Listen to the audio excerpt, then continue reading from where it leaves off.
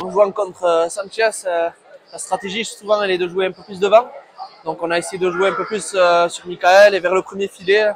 Et quand on essayait de faire reculer un peu Louis, on essayait de, de le faire par le biais de la planche, où peut-être qu'il est un peu moins à l'aise. Et voilà, aujourd'hui ça marchait.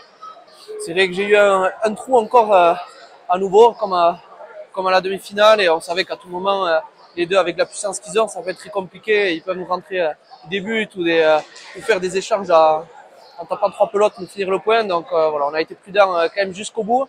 Même si on a eu un peu peur, euh, on s'est vite ressaisi quand même.